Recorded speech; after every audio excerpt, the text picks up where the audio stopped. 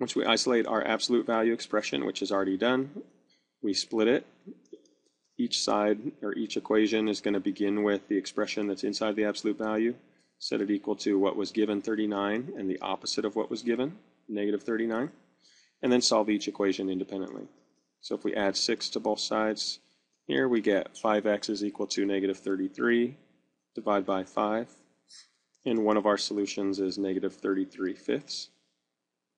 In the other equation, we add 6 to both sides to isolate our 5x. That gives us 45. Divide both sides by 5, and we get our other solution, x is equal to 9. So those would be our two answers.